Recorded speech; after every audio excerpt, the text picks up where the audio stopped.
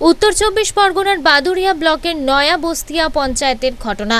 হনুমানের তাণ্ডবে ঘুম কেড়েছে দিন ও রাতের।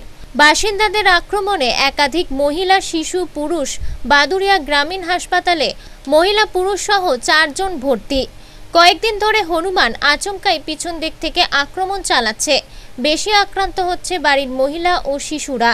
হনুমানের দ্বারা আক্রান্ত হওয়ায় গোটা এলাকা জুড়ে হনুমান আতঙ্কে গভীর চিন্তায় আছেন সাধারণ মানুষ। এলাকার ওষুধ বিক্রেতা জানান, এই হনুমানটির বিষয়ে যথেষ্ট সংশয় রয়েছে। ন্যায়বস্তি এলাকায় ন্যায়বস্তি পঞ্চায়েত অফিস সংলগ্ন এরিয়ায় পাগলা হনুমানের তাণ্ডবে এলাকাবাসী আতঙ্কগ্রস্ত হয়ে আছে।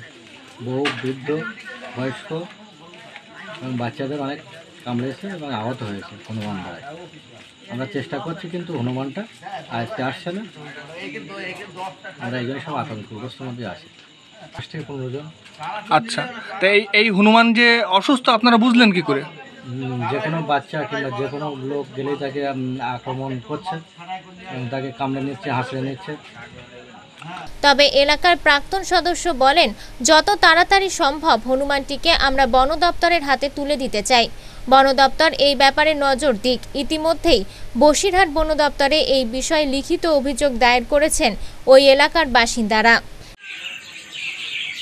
ওই আমাদের এখানে একটা পাগলা হনুমান এসছে, মাঝে মাঝে আসে, মাঝে মাঝে চলে যায়। আবাল বৃদ্ধা বনিতা, বয়স্ক এবং বাচ্চাদের কামড়ায়। বা অনেকে ছাদে বসে থাকে, তাদের ঠেলি ফেলি দিয়েছে, অনেকে ইঞ্জুরি হয়েছে। বন দপ্তরের কাছে আমরা বিনীতভাবে অনুরোধ করছি, যদি হনুমানটাকে ধরে নিয়ে একটু ট্রিটমেন্ট করে বোর্ডের দিকে ছেড়ে দেয়, তাহলে আমরা খুব ভালো থাকি।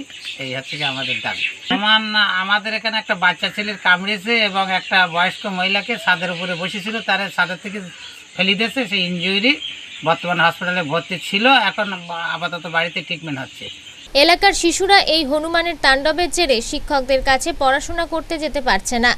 এছাড়াও নয়াবস্তি, আরও কাঁকড়াসুতি ও ফুটডাঙ্গা বেশ কয়েকটি গ্রামের তাণ্ডব চালাচ্ছে শাখা মৃগ এই ঘটনায় রীতিমতো রাতের ঘুম কেড়েছে গ্রামবাসীদের।